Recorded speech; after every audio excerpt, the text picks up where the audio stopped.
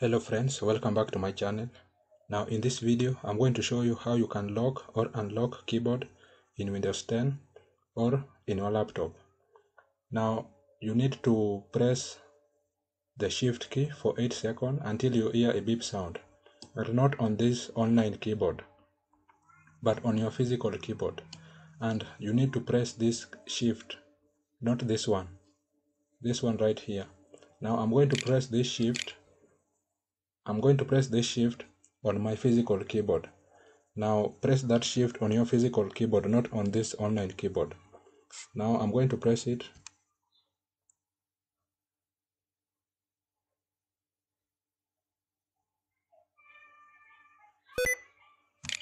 Now once you've you've heard that beep sound, you are going to click yes. Do you want to turn on filter keys? Just click on yes and your keyboard will be locked. Now that way your keyboard will be locked. Now for you to unlock your keyboard, you will again click on the same shift, this shift right here, you will click on it for more than 8 seconds until you hear a beep sound again. Now I'm going to click my physical keyboard, the shift on my physical keyboard.